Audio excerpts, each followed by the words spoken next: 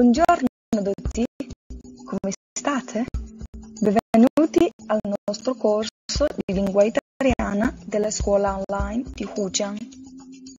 Io sono la vostra professoressa Celestina e da oggi in poi vi accompagnerò nello studio del corso di livello B2。Hello，大家好，欢迎大家来到沪江网校的意大利语课程，我是你们的老师 Celestina， 也可以叫我 Cele 老师。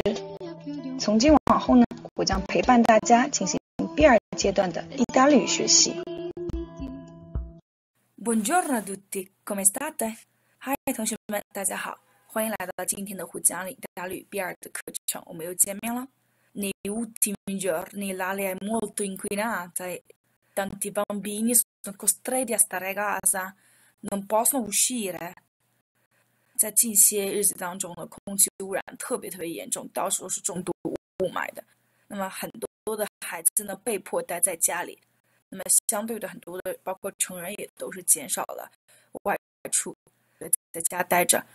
所以呢，有时候就会产生一种很难过的心情，因为你宅在家里面，经常会觉得很憋闷，那不自由嘛，你会觉得。那偶然之间呢，我就看到 Mr. m i n i 公司给我们的一句话，他说：“Chi è libero dentro è libero ovunque。”如果他心是自由的，内在是自由的，那么他在哪里都是自由的。那么只能用这句话给我自己安慰，不得不待在家里。那么我就当做我在周游世界吧，因为我觉得我的心是自由的。那废话不多说了，那今天我们再给大家复习一下上节课的内容。上节课呢，我们学习了这个一篇文章 Indrano 讲到一个先生他在坐火车从 Roma 到拿破里，然后在火车当中呢，他看到有他的这个同座位一直都在打电话啊什么的，他就觉得哎很奇怪，怎么都在用这种这么没有素质这么一种行为。那么之后呢，他也渐渐接受这个事情，然后也开始接受别人的好意帮助，给自己的女儿打了个电话。那是一个比较好玩的这么一个小故事。那么我们来看一下里面有哪些单词呢？第一个 scompartimento，一个列车的这么一个车厢，叫做 scompartimento。那通常意大利的这种火车，特别是老一点的小火车，和我们以前不太一样。它有时候也是那种像我们在电视上看到的欧洲那种小列车，里面一节一节的，就像小包厢一样的那么一个小位子，然后两边人都对面的这样坐着，叫 scompartimento。那 fischiare 吹口哨，essere alle prese con 注意这个词组，英语当中对应的是 to be struggling with 与什么什么抗争，抗争对吧？挣扎这样的含义。scostumato 没有道德的，行为不端的，是本身这样的含义。就只有我们中国人就是用白话一点，这个人真没素质，没有素质的。scostumato roba da non credere 真是难以置信。那么这句话大家一定要把它记住，对吧？口语当中都可以用。哦天哪，这是难以置信。roba da non credere 比较地道的一种讲法。criticare 批评、批判和英语当中也很接近。那么它的形容词和名词形式 critico、critica 大家要注意一下。prendere sonno 睡着。那么同时我们要记住，我们之前学过另外一个词做 avere sonno，我困了。Io sono 哎，我困了。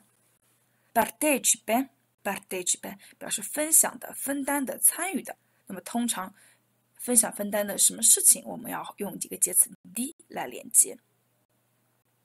va bene 后面一个单词 estraneo 表示不相干的或者表示不相干的人，这是一个形容词，也是一个名词形式，外人。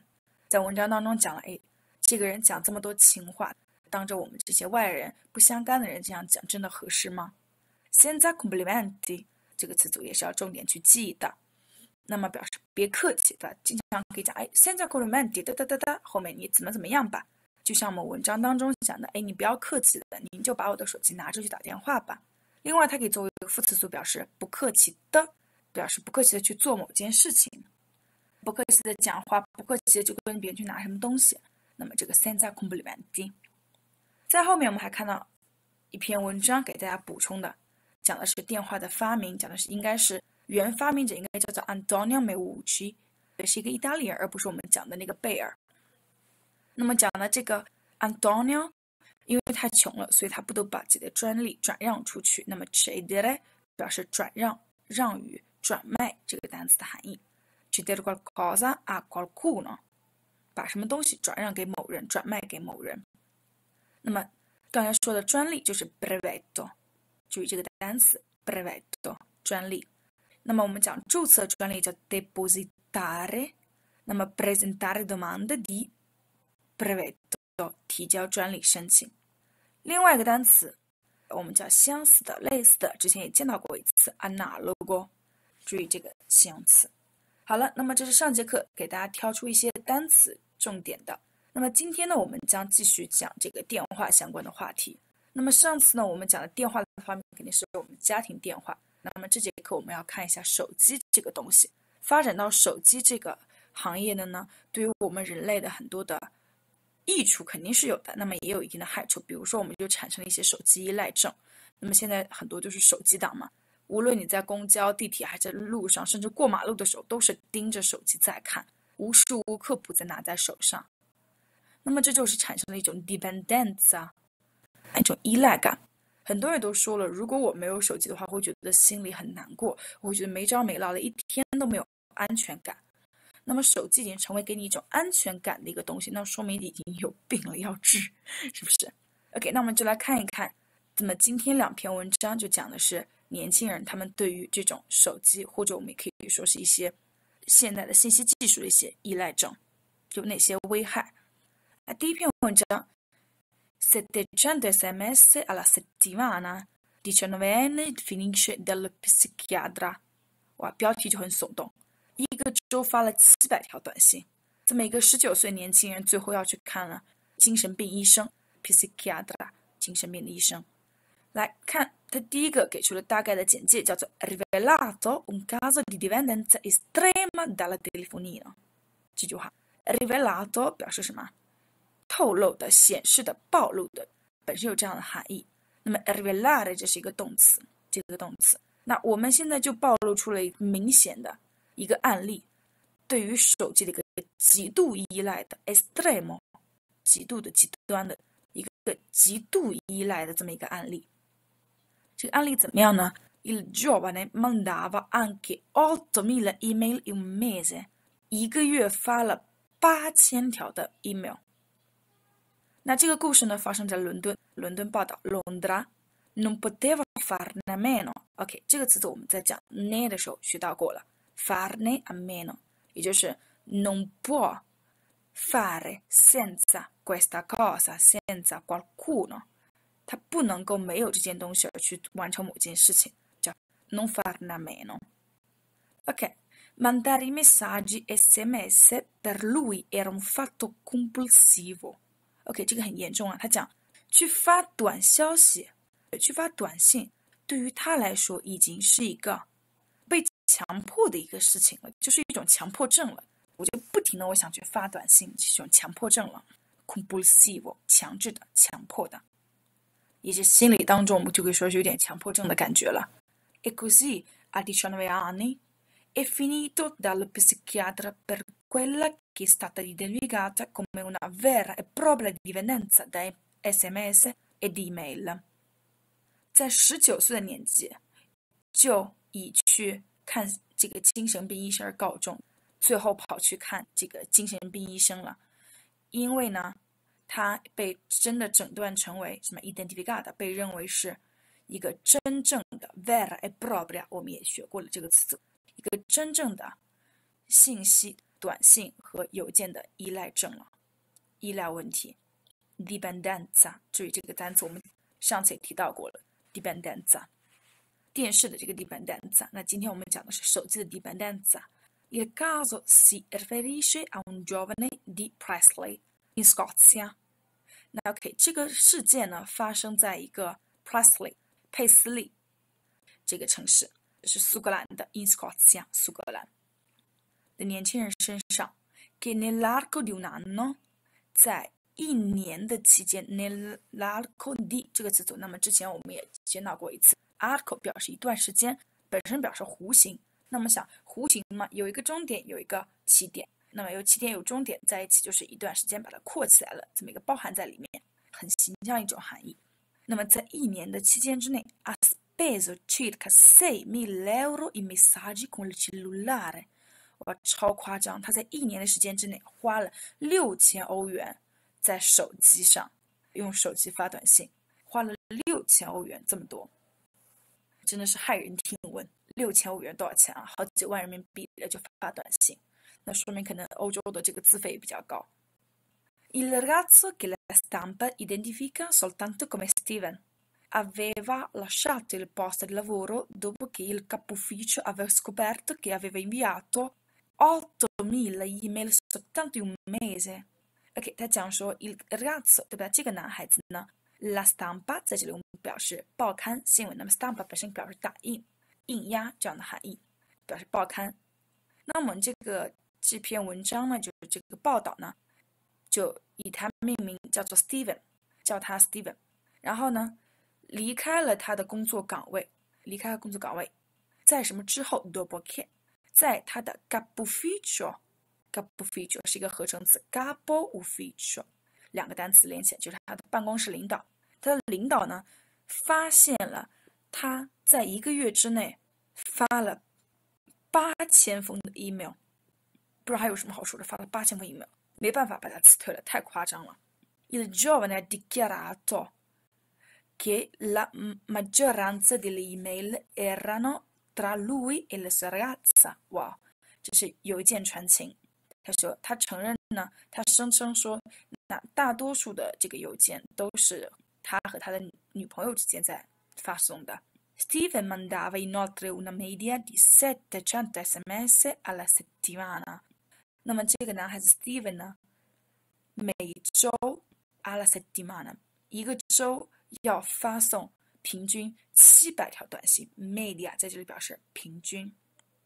Quando guardi il tuo cellulare e vedi che l'hai ricevuto un messaggio, ti chiedi chi potrebbe essere。哎，就是说，哎，这个可能是大多数人都会遇到的这种情况。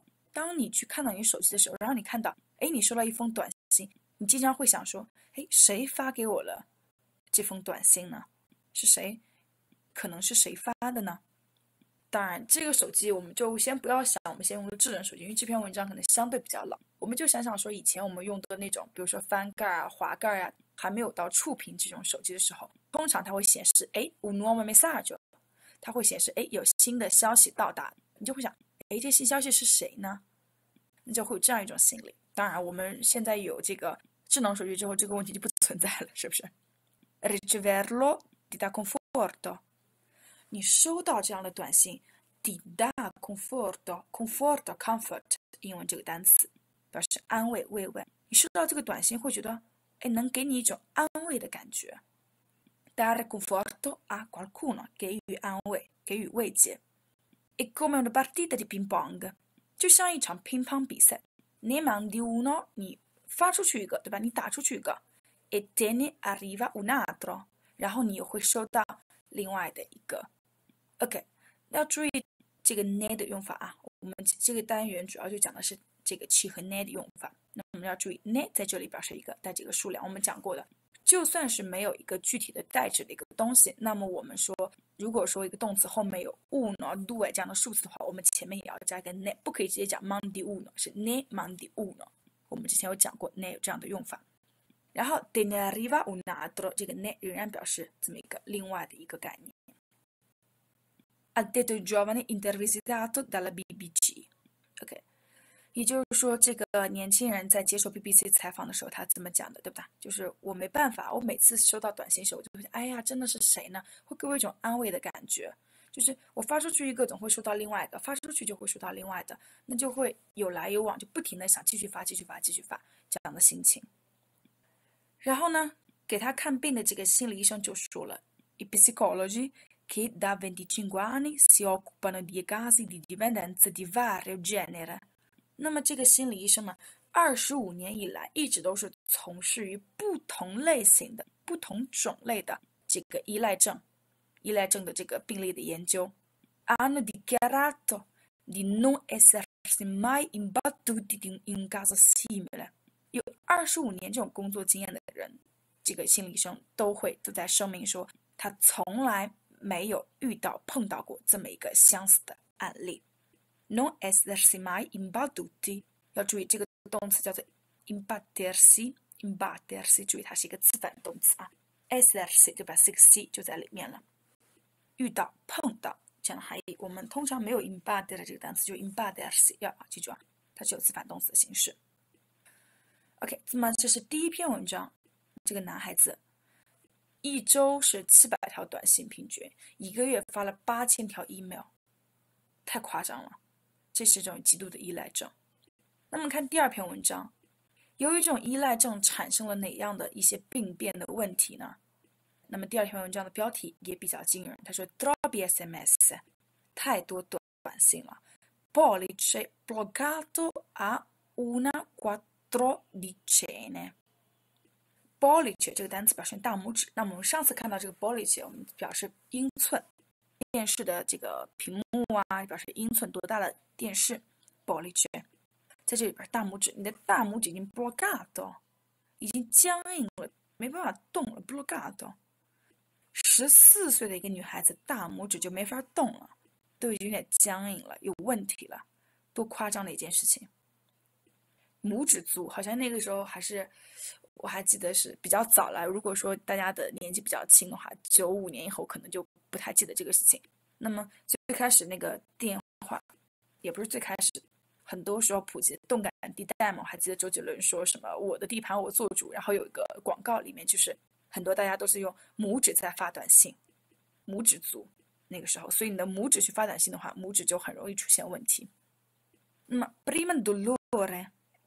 最开始只是一种疼痛 ，poi paralisi，paralisi 很严重了，麻痹啊这个单词，或者表示瘫痪啊。大家听我读这个单词，不要以为我在骂人，没有，我很严肃。那你的大拇指已经已经有点不能动了，有点没没知觉了，paralisi。Arcano svelato dal pediatra dopo che la ragazza ha ammesso di inviare cento messaggi al giorno，这个也差不多很夸张。那这个 arcano 表示神秘的、秘密 的，svelato 表示揭露、泄露、揭穿。那我们讲 svelare un argano 或者 svelare un segreto 就揭穿某一种秘密、揭穿某一个这个神秘的事件。那么这个先是疼痛，然后最后就觉得，哎，怎么已经就不能动了？已经已经僵硬了、瘫痪了，有种这种感觉，我的拇指。那么我们这个秘密是什么呢？我们把它揭穿了，被一个 pediatra，一个儿科医生、儿科专家叫 pediatra，他揭穿了。Dopo che la ragazza，直到在这个女孩子承认 a m e s s o di a m e t t e di fare qualcosa，承认这么一些，承认说他每天要发一百条短信啊。这个儿科医生终于明白为什么你的。手指头已经不能动这件事情，所以他讲了揭穿的这个秘密。OK，那么这是一个大的一个概念，对这个新闻的一个概述。OK，看句子的内容。Genova，OK，发生在热那亚这个故事。Genova，un pollice completamente bloccato con una seria infiammazione ai tendini dovuti all'invio di circa 100 messaggi al giorno con il proprio telefono cellulare。OK，那么讲。大拇指已经完全的 block 都已经完全的僵硬了， 为什么呢？Con una seria，一个真正的非常严重的一个 infiammazione，表示炎症、发炎，叫做 infiammazione。那么这个医医用的这个单词大家也注意到，因为如果你们将去意大利生活学习，那么可能发炎这个事情也会经常遇到的 infiammazione 炎症。什么发炎了？我们用介词啊在后面连接啊，比如说我们讲喉咙发炎。这个是经常发生的事情，扁桃体嘛，infiammazione alla gola，infiammazione ai polmoni，肺炎，polmoni 是你的肺，OK。那么在这里他说是 infiammazione ai dentini，dentini 表示腱，就是这个跟腱啊，腱跟腱是你的这个脚的是跟腱，腱这个机体的部位发炎了。然后呢，dovuti 啊，OK，注意这个词，dovuto。归因于、由于或起因于这样的含义，原因是什么呢？因为呢每天他平均一天要发一百条短信，用手机发一百条短信。OK，我们来看这个归因于这个单词，我们也会经常用到，对不对？dovuto 是 dovere 它的一个过去分词嘛。Il suo successo è dovuto alla forte volontà，他的成功也是因为他的强烈的这种意愿，有强烈的兴趣、强烈的意愿，然后才促使他的成功。那么这个 dovuto 啊，我们要学会它的用法。OK，è accaduto a una quattordicenne di Savona。那么这个事情就发生在一个十四岁的 Savona 女孩子的身上。quattordicenne 我们刚才看到了，在标题当中缩写是十四 n，数字十四 n。那么我们刚才前面那个第一篇文章当中是十九 n。那我们知道说十几岁的人，那么都可以是有个数字十几加上一个 n，但是我们我们要注意这个最后一个元音要把它变成了 n，元元音声调变成 n。比如说十四 n 就是 quattordici，十四岁的人，十四岁的。那么十三岁就是什么？tredici，十五岁 quindici，十六岁 sedici，等等等等。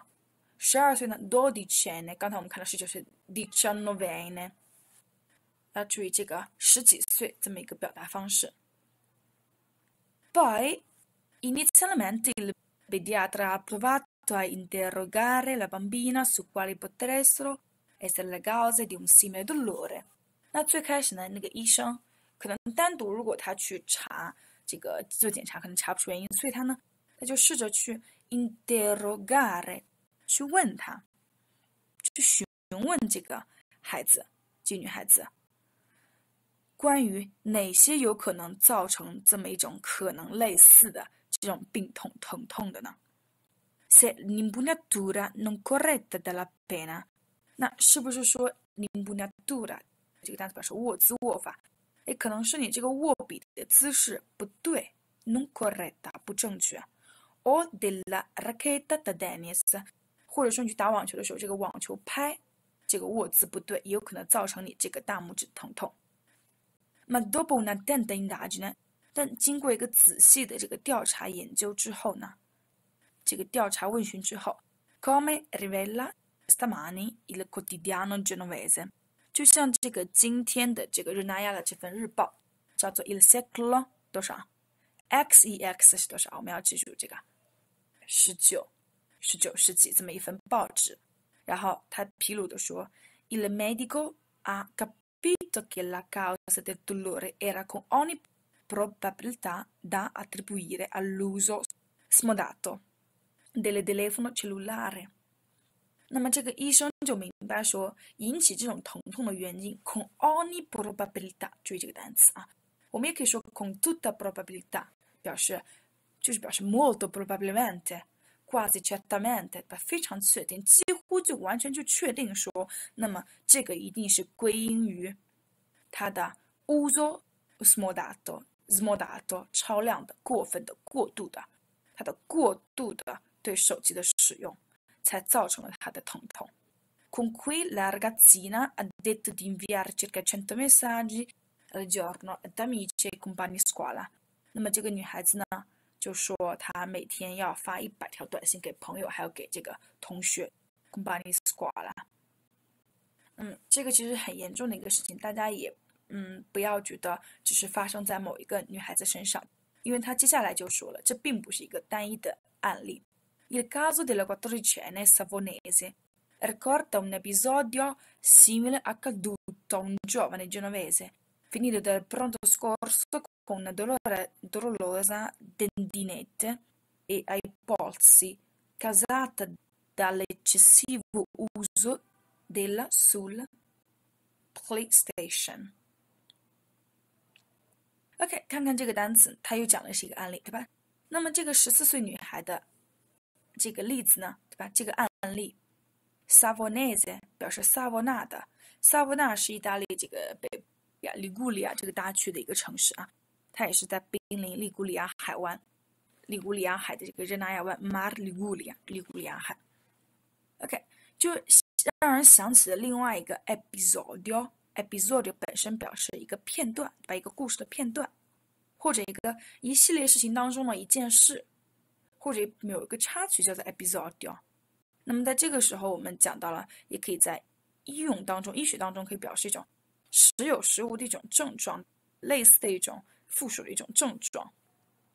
那么用意大利语，它的字典给出解释，在这个时候表示是 manifestazione morbosa accessoria o sporadica nella clinica di una malattia，在某个病症的临床当中的一种这个症状。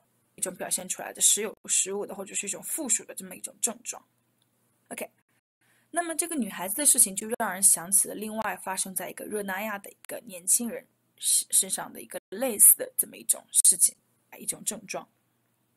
Finito al pronto scorso，哎呀，这个男孩子也是很比较倒霉，他最后也是被急救了，他也是被急救了。Pronto scorso，我们讲的急救或救护车。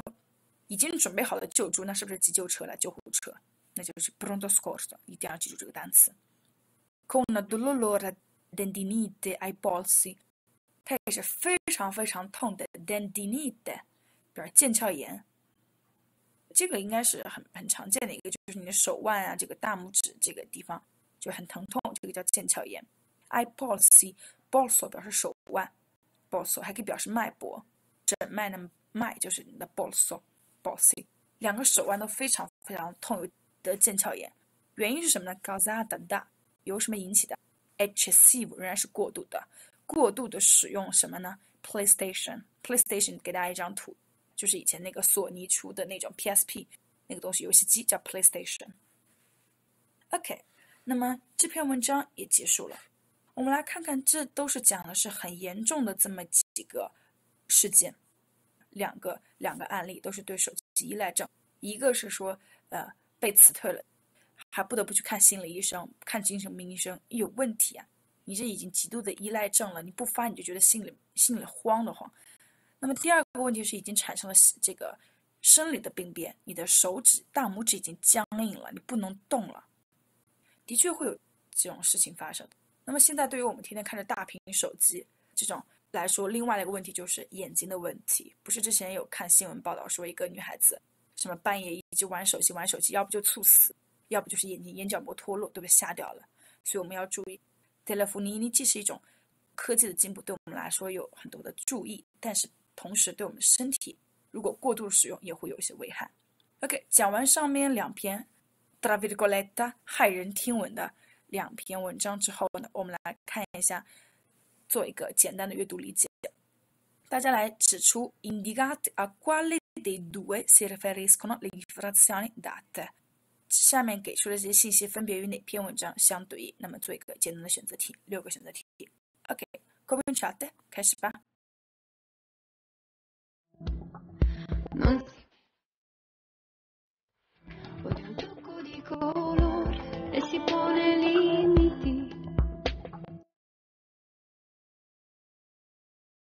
不难呢，应该还不难哈，这个都是比较明显的几个判断。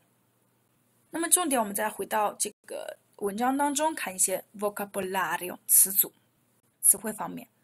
那么在文章当中，我给大家标出了几个绿色的单词。第一个，non poteva fare a meno，他做不到了，他没有这个事情，他没法办到，就是 he can't help it，情不自禁要去做这个事情。然后 dicono a n i finito dalla psichiatra，对吧？他十九岁就到了看心理医生的这个地步。è finito nell'arco di un anno，在一年之内，ha speso da da da，他花了这么多钱。riceverlo di da conforto，di da conforto，è stata identificata come vera e propria.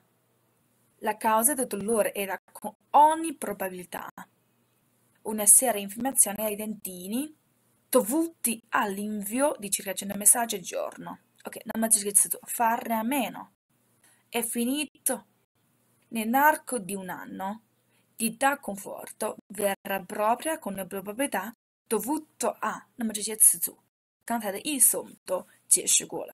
那么现在请大家做这么一个练习，用上述给出的七个词组来填空。注意要用它们正确的形式填空，有一些可能会有一些这个动词变位啊，或者说是这个名词形式的变化，名词或形容词的这个形式的变化。七个词组 vero proprio 真正的 fare meno 就是 fare meno 是可以不要这个东西做成某一件事情。如果说 non 的话，就是不可以没做这个事情，没有这样东西。con ogni probabilità 非常有可能 è finito 以什么告终以什么结束。dovuto a 归因于由于因为 dare conforto 给他安慰 nell'arco 在一个期间之内。OK，大家来用这个填空。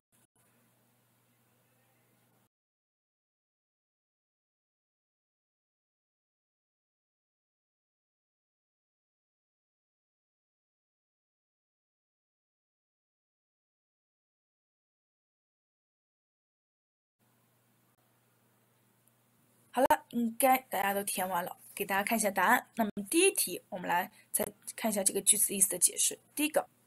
Sono un appassionato di calcio, non posso farne a meno。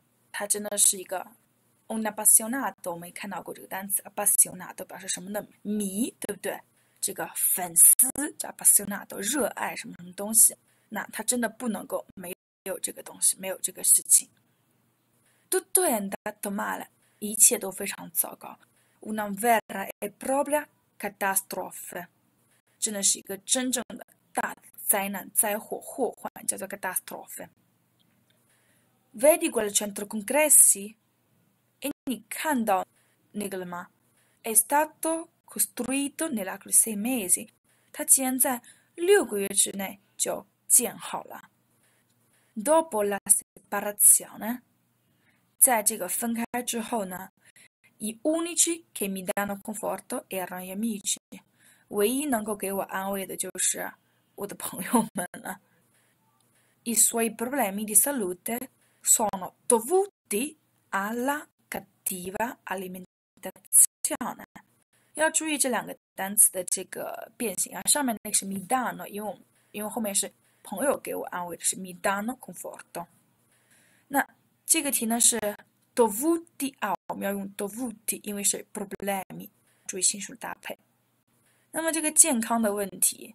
还是归因于他的这个饮食不得当的 cattiva alimentazione。Il celebratore 这个着名的演员 con ogni probabilità 非常有可能他不会出现在威尼斯电影节上了 Festival di Venezia。OK，那么第七个 Ricordi Stefano？你还记得 Stefano 吗？Ha avuto un incidente e definito in ospedale。他 出了一个事故，对吧？那最后跑到医院去了，最后就进医院了。二百呢？那么这节课呢，我们又学习了两篇关于这个手机依赖症的一个问题。那么在下节课当中，我们要看一下这个电脑的依赖症的一些问题。Come usiamo computer？用电脑做哪些事情呢？Va bene, alla prossima lezione. Ciao ciao, buono studio.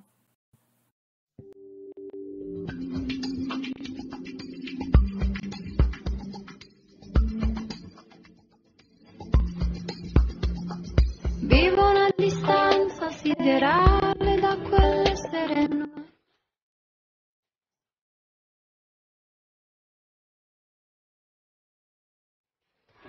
Poi un tocco di colore e si pone limiti.